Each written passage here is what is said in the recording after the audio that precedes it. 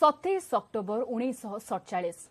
ବିଶେଷ ଚର୍ଚ୍ଚିତ ନଥିଲେ ବି ଅଖଣ୍ଡ ଭାରତ ଇତିହାସରେ ସ୍ୱର୍ଣ୍ଣାକ୍ଷରରେ ଲେଖା ହୋଇଛି ଏହି ଦିନର କାହାଣୀ ଯେଉଁଥିରେ ଯୋଡ଼ି ହୋଇଯାଇଛି ଦେଶର ସର୍ବଭୌମତ୍ୱ ରକ୍ଷାରେ ଅଦମ୍ୟ ସାହସ ଏବଂ ଅପୂର୍ବ ବୀରତ୍ୱର ପ୍ରଦର୍ଶନ କରିଥିବା ଜଣେ ଯୁଗ ପୁରୁଷଙ୍କର ଅଦ୍ୱିତୀୟ ଯୋଗଦାନ ସେ ଆଉ କେହି ନୁହନ୍ତି ଭୂମିପୁତ୍ର ବିଜୁ ପଟ୍ଟନାୟକ ସତୁରୀ ବର୍ଷ ତଳେ ଆଜି ଦିନରେ ବିଜୁବାବୁଙ୍କର ସେ ବୀରଗାଥା ଉପରେ ଦେଖିବା ଆମର ବିଶେଷ ରିପୋର୍ଟ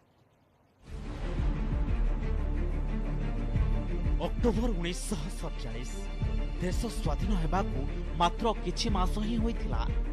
ଜମ୍ମୁ କାଶ୍ମୀର ଦଖଲ ପାଇଁ ହଠାତ୍ ଆକ୍ରମଣ କଲେ ପାକିସ୍ତାନୀ ସେନା ଦେଶର ଅଖଣ୍ଡତା ଓ ସାର୍ବଭୌମତ୍ୱ ଉପରେ ସୃଷ୍ଟି ହୋଇଥିଲା ବଡ଼ ଆହ୍ୱାନ ସେ ସମୟରେ ଯୁଦ୍ଧ ପାଇଁ ପ୍ରସ୍ତୁତ ନଥିଲା ଭାରତ ପାକ୍ ସେନା କେତେ ବାଟ ଅନୁପ୍ରବେଶ କରିଛି ସେ ନେଇ ଭାରତ ସରକାରଙ୍କ ପାଖରେ କିଛି ଠୋସ୍ ସୂଚନା ନଥିଲା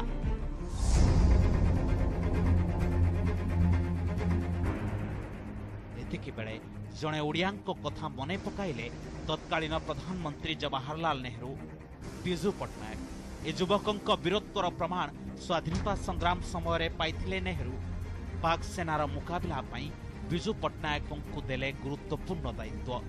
ଭାରତୀୟ ଯବାନଙ୍କୁ ନେଇ ଶ୍ରୀନଗର ବିମାନ ଘାଟିରେ ପହଞ୍ଚାଇବାର କାମ ଭୟ ଥିଲା ଶ୍ରୀନଗର ବିମାନ ଘାଟି କବ୍ଜା କରିପାରିଥାଏ ପାକ୍ ସେନା ନିର୍ଦ୍ଦେଶ ଦେଇଥିଲେ ନେହେରୁ ପାକିସ୍ତାନ ସେନାର ଉପସ୍ଥିତି ଥିବା ସୂଚନା ପାଇଲେ ବିମାନ ଅବତରଣ ନ କରିବା ପାଇଁ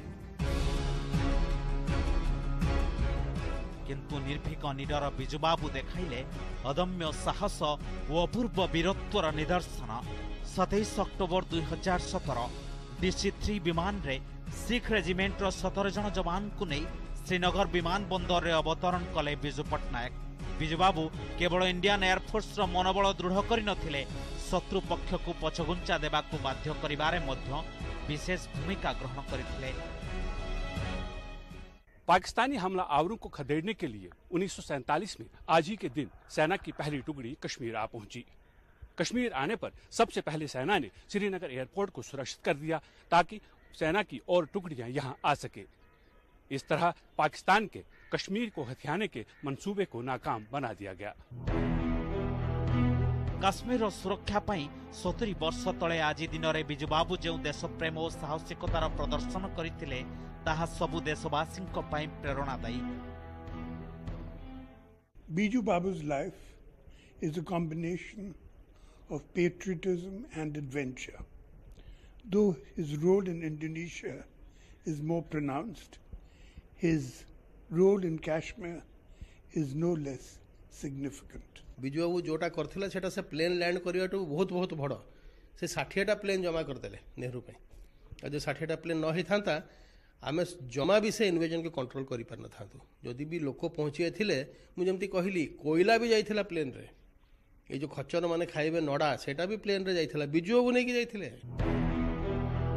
ପ୍ରବାଦ ପୁରୁଷ ଭୂମିପୁତ୍ର କଳିଙ୍ଗ ବୀର ବିଜୁ ପଟ୍ଟନାୟକ ବିଜୁବାବୁଙ୍କ ସାହସ ଓ ବୀରତ୍ୱର ଅନେକ କାହାଣୀ ରହିଛି କିନ୍ତୁ ଉଣେଇଶହ ସଡ଼ଚାଳିଶ କାଶ୍ମୀର ଯୁଦ୍ଧ ସମୟରେ ବିଜୁବାବୁଙ୍କ ସାହସର ଏ ଗାଥା ବେଶୀ ଚର୍ଚ୍ଚିତ ନୁହେଁ କିନ୍ତୁ ଇତିହାସକୁ ଜାଣିଥିବା ଲୋକେ ବୁଝିଛନ୍ତି ଉଣେଇଶହ ସଡ଼ଚାଳିଶରେ କାଶ୍ମୀର ଯୁଦ୍ଧରେ ପରାସ୍ତ ହୋଇଥିଲେ ଜମ୍ମୁ କାଶ୍ମୀର ଆଉ ଭାରତର ଅଂଶ ହୋଇ ରହିନଥାନ୍ତା ରିପୋର୍ଟ ଇଟିଭି ନ୍ୟୁଜ୍